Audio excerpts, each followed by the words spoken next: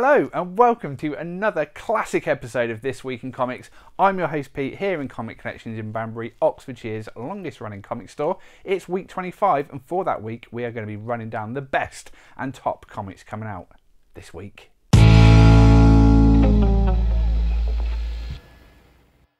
We will start with the biggest comic coming out this week, not just because it's so exciting, because it is in fact bigger than the other comics. It's Superman Year One by Frank Miller and John Romita Jr. You know who Frank Miller is. He's wrote wrote, written classics such as Dark Knight Returns, and now he's having a go at writing Superman. It is, as it sounds, year one, it's the first year of Superman being Superman, with art by the always excellent John Romita Jr. You've seen his work on Spider Man, he's even done Superman stuff in the past, in the past few years. But very exciting stuff, all star team, part of DC's Black Label, um, so it's going to be a bit darker, a bit more adult than the Superman you're used to, but very exciting stuff. Big, big creative team, lovely. Uh, normal cover and a variant cover by Frank Miller himself. So if you're into Superman, if you're into Frank Miller, if you're into The Dark Knight Returns and you've always wondered you wanted more of Superman from Frank Miller, this is your place.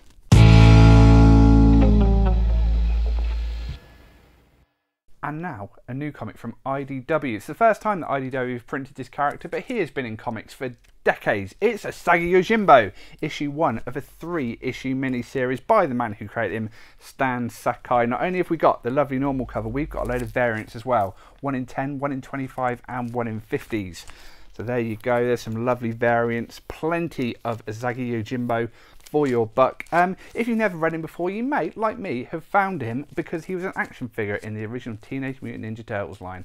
That's how I first saw him, and I liked him then, and I like him now. New issue one, lovely stuff. Like I say, by Stan Sakai. He's done all the Usagi Yojimbo stuff dating back to the very start. So if you like your samurai rabbits, can't go wrong with a bit of Usagi.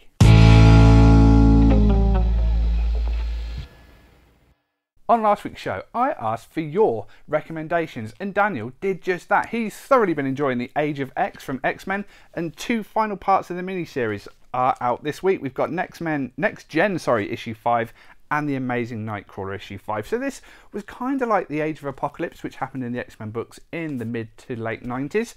Well, this is kind of the reverse of that, where rather than bad things happening to the X Men, good things have been happening. I've heard very good things about these Age of uh, X-Men books. So if you've been checking all these out, if you've been buying them all, they are all coming to an end. But that doesn't mean it's the end of the X-Men. The X-Men have got exciting things ahead. Jonathan Hickman is jumping on board to write a couple of X books. So going forward, the X-Men are going to be brought back to prominence. And really, they haven't been as prominent as they could have been since the 90s. So hopefully Hickman can bring them back where they belong. They're back in uh, the Marvel family now because uh, Disney, sorry, have bought Fox. So we're going to get some X-Men movies from Disney. We're going to get them teaming up or against the Avengers eventually. So yeah, good to see the X-Men back on top.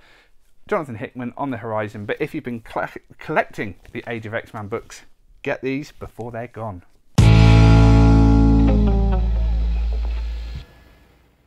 This week is somewhat of a quiet week for comics, so if you do, like me, get a lot of different varied books, I've only got two in this week, so it's a perfect time to check out something new.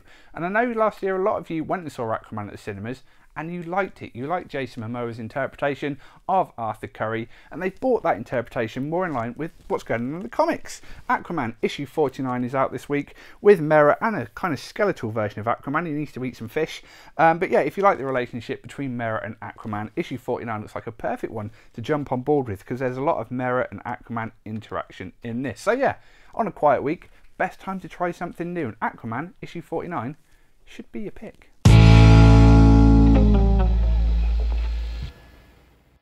So we recently had one of the trade paperbacks of the Sandman relaunch uh, come out just a few weeks ago, and the next one is out. It's Lucifer. So if you have been enjoying the Sandman um, relaunch from DC, or maybe you haven't been picking up because you like the trades, as we said before, back in the day when Sandman was coming out, a lot of people read it in trade paperback format. They weren't too keen on buying the monthly single issue. So if you are continuing that trend, if you want all your Sandman goodness in trade paperback form, the first volume of Lucifer is out this week. Come and check it out. I know there's a lot of Sandman fans out there, so you should be buying these.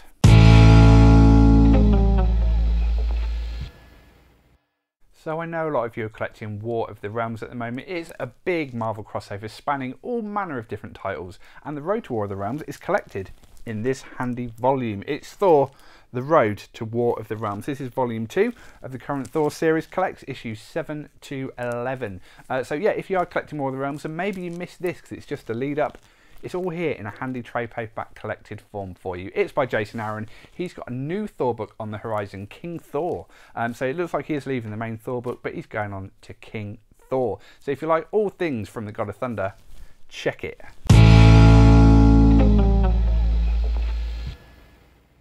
Doomsday Clock has been chugging along at a pretty slow pace, but it is a very good book, and I know you're all reading it, and a few of you might have missed out on the button. It's one of what kind of what led up to Doomsday Clock. This is where Batman finds the button in his Batcave, teams up with Barry Allen to find out what the heck is going on. Um, it had lovely lenticular covers when it first came out in trade paperback form. It had the lovely hardcover with also a lenticular cover. But if you're not into fancy stuff, if you just like your regular trade paperbacks, the button has been collected just for you. It collects Batman issue 21 and 22 and the same issues of The Flash. So if you've been enjoying Doomsday Clock, if you want a bit more of that while you wait for issue 11 to finally hit the stand, hands, the button isn't a bad place to go.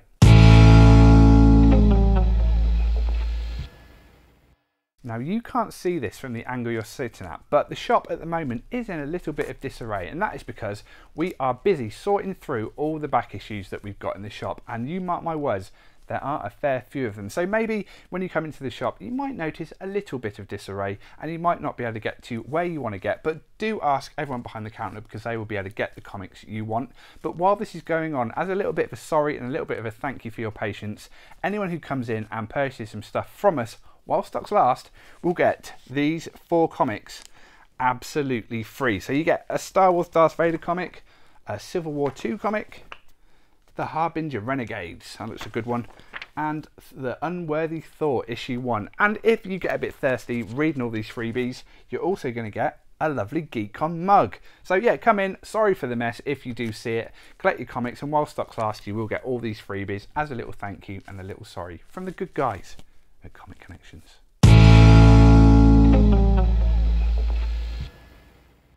So that brings us to the end of another episode of This Week in Comics. As I said, bit of a slow uh, week this week. Not many big new releases other than uh, Yojimbo and Superman Year 1 out. But as I said earlier, plenty of time for you to check some new stuff.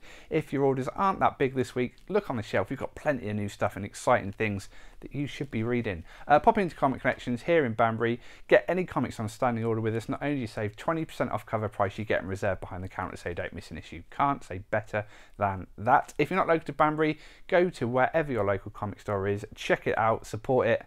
You'll have a good time. I'll see you next week with another episode of This Week in Comics. I'm going that way.